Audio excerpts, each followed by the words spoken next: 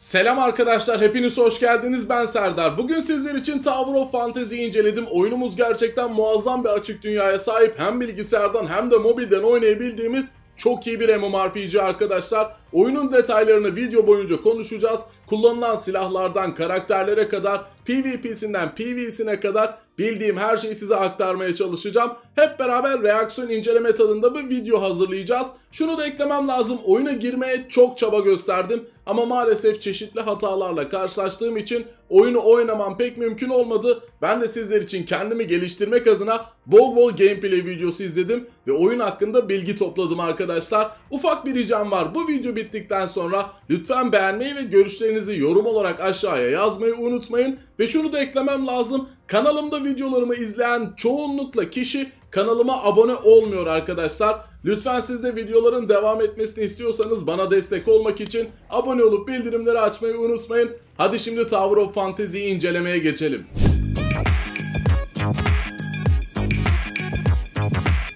Siteberu kanalından oyunun karakter özelleştirme ekranını inceleyeceğiz arkadaşlar. Oyun aslında gacha bir MMORPG. Sınıfların silahlarını çıkartabiliyorsunuz. Bunları videonun ilerleyen dakikalarında tüm silah çeşitlerini görerek size tekrardan anlatacağım. Ve aynı zamanda yeni karakterler çıkartmanız da mümkün. Her karakterin kendine has özellikleri de var arkadaşlar. Yani içerik anlamında gacha RPG türüyle bir MMORPG'nin evrimleştirilmiş hali gibi diyebiliriz. Yeni karakterler ve kostümler çıkartmanıza rağmen bu gibi detaylı karakter yaratma ekranının olması bence muazzam. Oyunu şu an için maalesef Çince dilinden başka herhangi bir dilde oynayamıyorsunuz. Oynamak isterseniz nasıl indireceğinizi, nasıl kaydolacağınızı detaylıca anlatan bir videoyu açıklama kısmına bırakıyorum. Oraya giderek siz de güzelce izleyip inceleyerek giriş adımlarını yapabilirsiniz arkadaşlar. Ben maalesef farklı hatalar aldığım için bunu çok iyi bir şekilde yapamadım. D99'da bir hata alırsanız üzgünüm ama siz de giremeyebilirsiniz. Şimdi şöyle karakter özelleştirmeye bir bakacak olursak renk ayarlarından tutun karakterimizin farklı özelliklerinin ebatlarını büyütmeye kadar her şeyi ayarlayabiliyoruz. Karakterimizin saç renginden karakterimizin saçının boyutlarına kadar birçok şeyi ayarlamak mümkün. Yani genelde anime tarzı MMORPG oyunlarda veya RPG oyunlarda bu kadar karakter özelleştirmenin üzerinde durmaz. Mesela Genshin Impact bir gacha RPG ama kesinlikle herhangi bir şekilde karakter özelleştirme yok arkadaşlar. Bu oyun gacha bir MMORPG. Genshin Impact'e göre çok daha üstün bir oyun olduğunu çok rahat bir şekilde söyleyebilirim. Özellikle Genshin Impact oynarken sıkılanlar, co-op takılmaktan hoşlanmayanlar, daha online bir evrende oyun oynamak isteyenler mutlaka Tower of Fantasy'yi beklesin. Çin'de oynayabiliyorlarsa da oynasınlar arkadaşlar. Hadi şimdi oyunda önemli bir etken olan silah çeşitlerine geçelim arkadaşlar. Şimdi Taka isimli bir kanaldan bu silah türlerini göreceğiz arkadaşlar. Ben ilk etapta size söylemiştim ki oyun gacha bir MMORPG.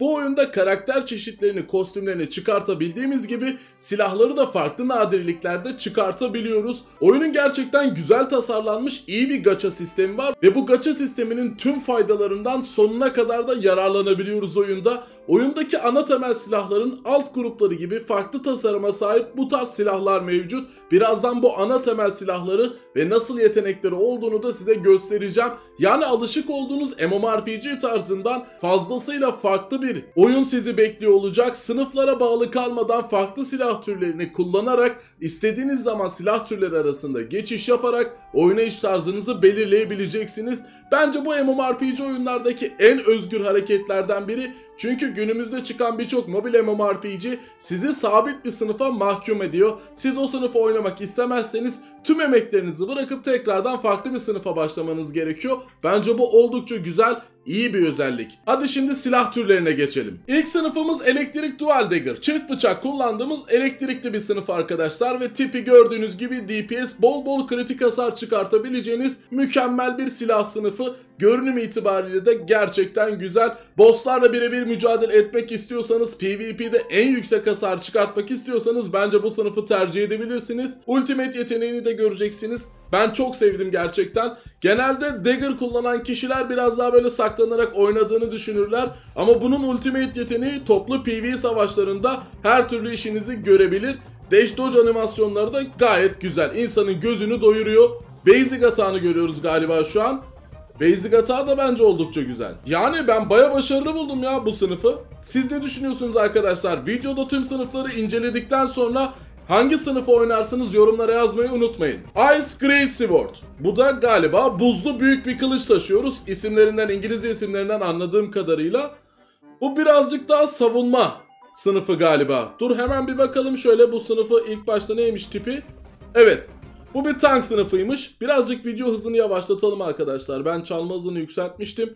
Normale çevirelim. Ee, gördüğüm kadarıyla aynı tank sınıfında olması gereken özellikler bu sınıfta da var. Ama bu kılıcın da görünümünü çok sevdim.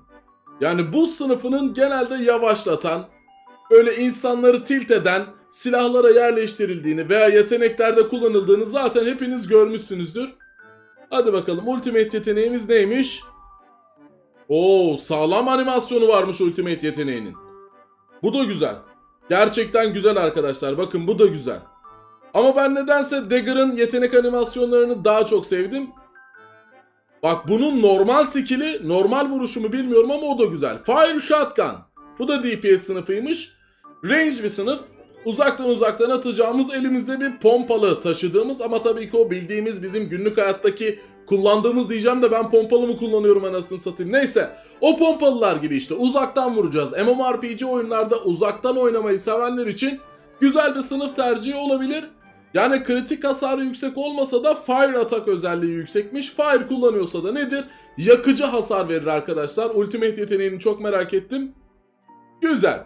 Güzel yanınıza sokulan düşmanları veya rakiplerinizi kolayca alt edebilirsiniz Ultimate yeteneğiyle. Normal hata çok gözümü doyurmadı doğruyu söylemek gerekirse ama kötü olduğunu da söyleyemem. Bu arada bu oyunun yetenek animasyonlarını tekrardan söylüyorum çok beğendim. Siz ne düşünüyorsunuz yetenek animasyonları hakkında mutlaka yorumlara yazın. Normal yeteneğine bakalım.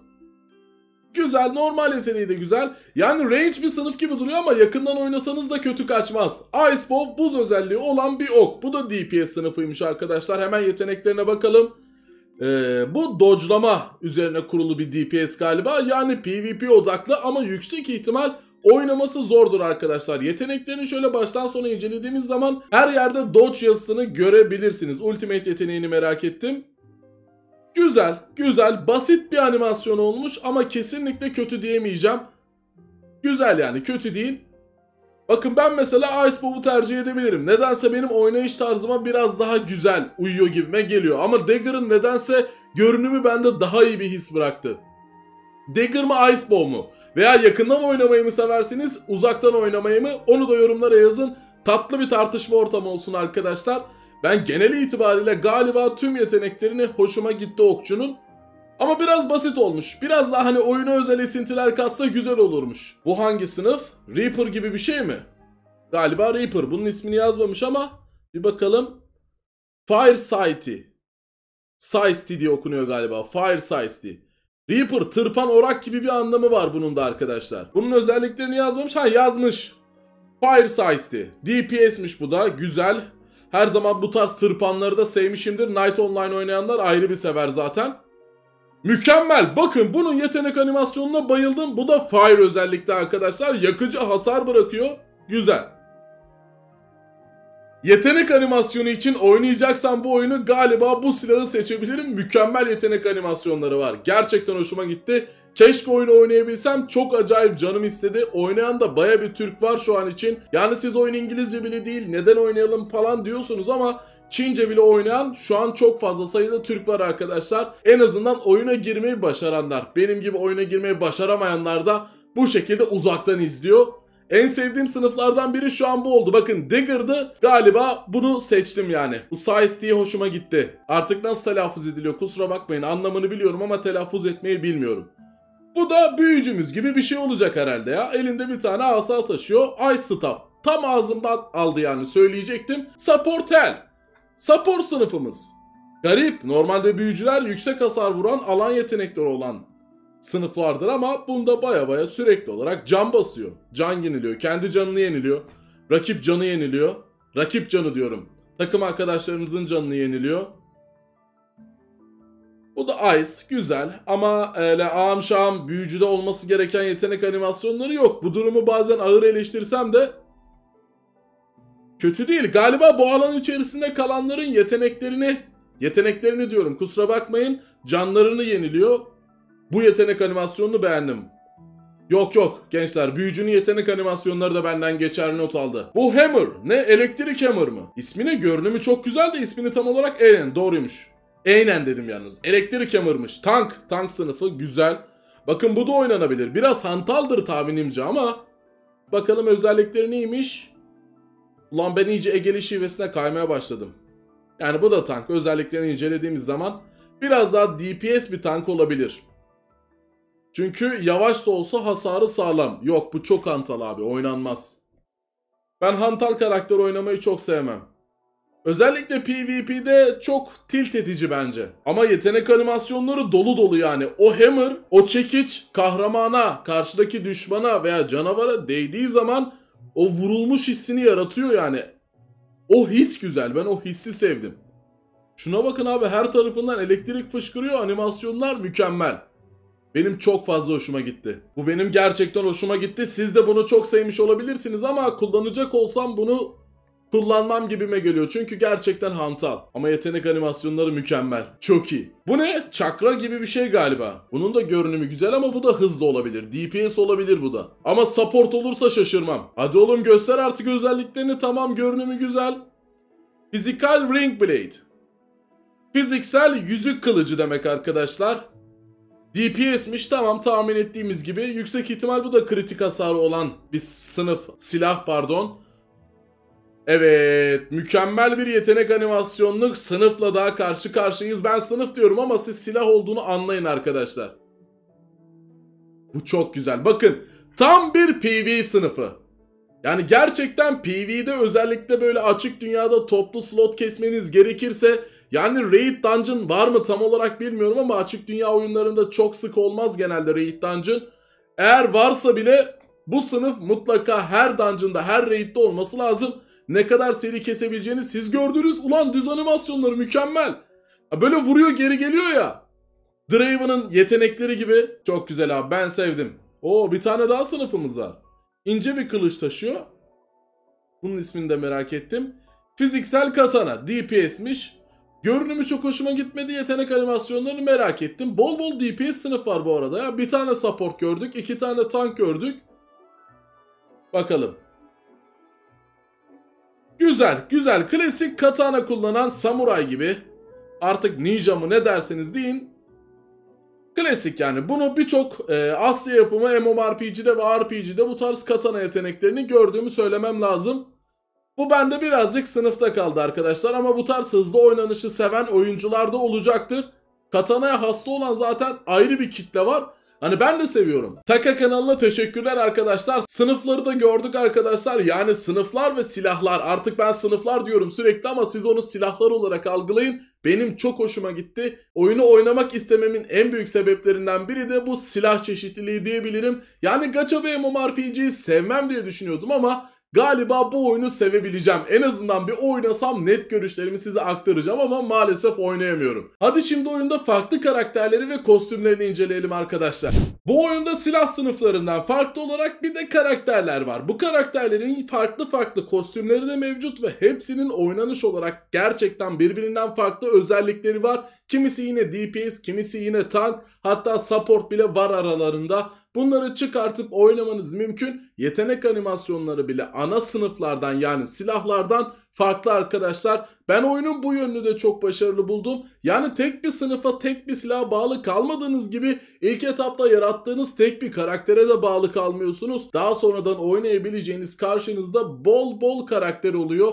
Bu da oyunu daha uzun süre oynamanıza yol açıyor. Bir MMORPG'deki en önemli sorunlardan biri nedir? Aynı sınıfı oynadıktan sonra, aynı karakteri oynadıktan sonra endgame'de bir süre sonra sıkılmaya başlarsınız. Yeni bir oynayış arayışına girersiniz. Yeni bir farklılık isterseniz Tower of Fantasy'de böyle sorunlarınız kalmıyor. Gördüğünüz gibi farklı karakter, farklı yetenekler, farklı silah çeşitleriyle oyunu en sonuna kadar oynasanız da kendinize farklı bir amaç bulabiliyorsunuz. Yani ben karakterlerin yetenek animasyonlarını da tasarımlarını da çok sevdim. Tower of Fantasy'nin boyutu bu arada ben zaten açıklama kısmına yazmış olurum ama bu oyunun boyutu bilgisayarda 15-16 GB civarında belki 17 GB'a yakındır ama mobilde 7-8 GB'ın biraz üzerinde yani bilgisayar versiyonunun GB'ı biraz daha fazla tabii ki grafikleri de mobile göre çok daha detaylı ve güzel. ama kesinlikle mobille arasında oynanış anlamında bir fark yok. Cross platform olarak aynı server üzerinden oynayabiliyorsunuz. Karakterleri de gösterdiğime göre oyunun bir PvP'sini ve PvE'sini inceleyelim. En azından bir boss savaşına bakalım ve güzel bir PvP maçını da inceleyip oyunun incelemesini en son bitirelim arkadaşlar. Yorumlarda da mutlaka sizinle Tower of Fantasy sizce de en iyi MMORPG oyunlardan biri olabilir mi? Bunu tartışalım. Hadi şimdi PvP'ye geçelim. Şu an güzel birkaç tane PvP mücadelesi inceleyeceğiz arkadaşlar. Gördüğünüz gibi Ice Sword'la oynuyor, büyük kılıçla oynuyor arkadaşlar. Ama tabii ki aynı anda farklı sınıflara da geçiş yapabiliyor. Oyundaki yetenek animasyonlarının güzel olduğunu zaten söylemiştim. Bakın bir anda da Ice Bow'a geçti. Yani hem uzaktan hem yakından oynayabiliyorsunuz. Bu da farklı türlerde sınıfları oynamayı seven oyuncuları fazlasıyla mutlu eder. En azından beni mutlu edeceği kesin arkadaşlar. Ben oyunun arena PvP sistemini çok sevdim. Bu arada open world PvP sistemi de olacak. Ama yüksek ihtimal oyuncular genelde arena PvP'yi tercih edebilirler. Rank sisteminin, lig sisteminin gelmesiyle veya gelişmesiyle en çok tercih edilen arena PvP'si olur gibime geliyor. Şimdilik bir vs 1 maçları izliyoruz. Oldukça detaylı, güzel animasyonlarla PvP bakımından da birçok kişiyi mutlu edecek gibi. En azından ben çok sevdim. Ee, en çok şuna benzettim. Belki bilenler bilir. E, Continent of the Night Seal yani C9 isimli Webze'nin bir oyunu vardı. Hala var ama eskisi gibi popüler değil. Bu oyunda bence en az o kadar güzel. Yani ben gerçekten beğendim. Böyle yeteneğin ön planda olduğu, oynanış tarzına göre şekillenen bir PvP sistemi var. Birçok kişi benim gibi bu PvP sistemini sevecektir. Yani eğer old school bir MMORPG oynamayı sevmiyorsanız kesinlikle bu oyundan sıkılmazsınız. Ama bazı insanlar old school oyunları sever. Böyle tıklayıp saldıracağı. Hadi şimdi bir de bir PvE'sine göz atalım. Bir boss savaşı izleyelim. Mükemmel bir dünya boss savaşı buldum arkadaşlar. Gördüğünüz gibi açık dünya haritasında karşınıza bu tarz arada bir çıkan çok güçlü özelliklere sahip bosslar gelecek. Ve siz de diğer oyuncularla beraber daha yüksek ödüller için bu tarz bossları kesmeye çalışacaksınız. Mükemmel. Bizim adamımız ne kullanıyor? Shotgun'la beraber savaşıyor. Yani görsel anlamda muazzam sahneler duruyor karşımda ya. Ben çok fazla sevdim. Gerçekten güzel. Videoda başka bosslar da var. O bosslara da bir göz atalım. Şurada şöyle robotumsu bir boss var. Bizim karakterimiz bir an robota dönüştü. Orayı kaçırdık ama oyunun garip garip yeteneklerinin olduğunu zaten size söylemiştim. Bakın şu an çakrayı kullanıyor. Çakranın yeteneklerini atıp shotgun'a geçiyor. İki tane silah türünü kullanabiliyoruz galiba anladığım kadarıyla. Ve bu arkadaşımız bilgisayardan oynuyor. Hem çakra hem shotgun. İkisi de range bir sınıf. Çakra'nın biraz daha yakından yetenekleri var ama dediğim gibi PvE'de güçlü bir sınıf olduğu için Çakra'yı bol bol kullanan olacak gibi duruyor. Bu boss'u kesmek de güzele benziyor.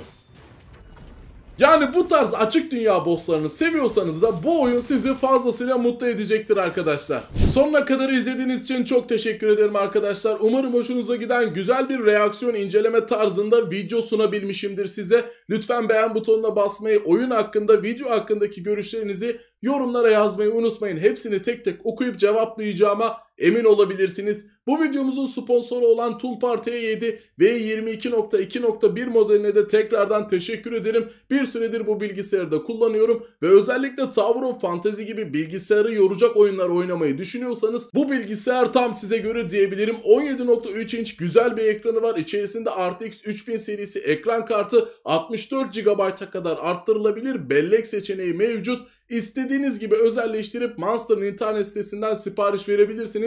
Benim fazlasıyla memnun kaldığım bir bilgisayar oldu. Açıklama kısmına Monster'ın internet sitesini bırakıyorum. Oraya giderek ayrıntılı özelliklerini inceleyip isterseniz de satın alabilirsiniz. Monster'ın internet sitesine uğramışken de Windows 11 ile güçlendirilmiş Toolbar T7 ve 22.2.1 modeli gibi diğer bilgisayar modellerini, gaming laptop modellerini de inceleyebilirsiniz. 2 aydır Windows 11'i kullanıyorum ve kesinlikle hiçbir problem yaşamadım. Özellikle arayüzü mükemmel. Hiçbir oyunda kasma, donma olmadan Windows 11'i deneyimlediğimi net bir şekilde size söyleyebilirim. Windows 10'dan sonra korkarak geçtiğim Windows 11 benim şu an için favori Windows sürümüm oldu. Özellikle arayüz tasarımı çok hoşuma gitti. Hepinize tavsiye ederim. Bir başka videoda görüşmek üzere kendinize iyi bakın. Oynayamadığınız oyun olursa anında iade garantisi. Monster Notebook. Oyun bilgisayarı.